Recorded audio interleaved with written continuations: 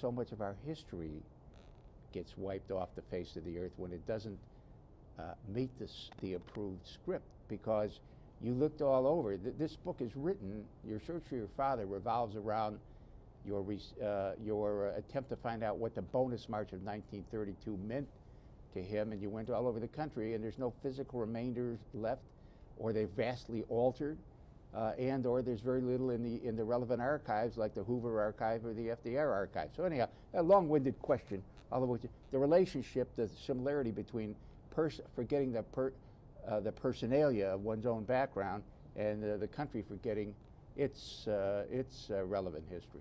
Well, my father was very fascinated with this incident of which you speak, the book, the incident that forms the basis for the book, the Bonus March of 1932, which was an incident that happened in May, June, July of 1932 when about 20,000 veterans of World War I who had been promised what they called a bonus, but was actually adjusted compensation to compensate them for their service, marched on Washington, or they descended upon Washington. They marched sometimes, but they had a tent city along the Anacostia River. There were about 20,000 of them.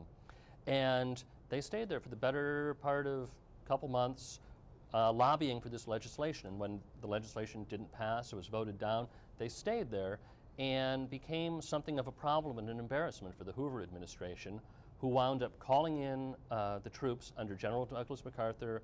Eisenhower was involved, General Patton was involved. It was an ignominious incident in American history in which veterans of the World War I were essentially being smoked out by the current cavalry. Now, my father was fascinated by this incident for one reason or other. He said it was the most overlooked incident in American history. He kept on saying during various points of my life that someone should write a book about it. He wrote to the historian Barbara Tuchman saying that, he, do you think it's a good idea? And Barbara Tuchman wrote him back saying, yeah, you should write that book. Now, uh, when my brother wanted to write a history paper, my father said, write about the bonus march. When uh, we would talk about what he did at, after he would retire from medicine, he was a radiologist, he said he was going to write this book. Now, he never did. And after he died, I was both interested in capturing his story, trying to capture the fleeting nature of it, but also um, the story he wanted to write. And I wanted to view his life through the lens of the bonus march and see what had been forgotten that he thought should be remembered, at the same time seeing what I thought might be forgotten about his life and seeing what should be remembered yeah. about that. And, and if I understand correctly, Adam, you thought that if you could solve the key uh, of what attracted him to the idea of writing about the bonus march, why he thought it was such an essential part, but overlooked part of history, you would also unlock a key to your father's personality.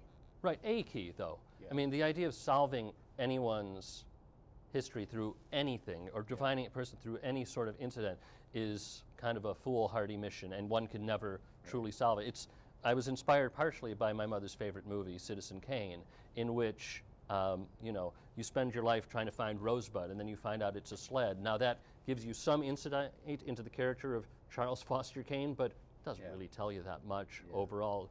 Ditto for the bonus march with my father. It led me into a lot of paths and allowed me to talk, find a way into talking to a lot of people about who knew him and knew about the history. But I feel like I know him a little bit better, but still he's very much a puzzle. This excerpt is brought to you by the Massachusetts School of Law, the leader of reform in legal education and a leader in multimedia education for the public. To view the full interview and for a full listing of MSL's programs, log on to mslaw.edu.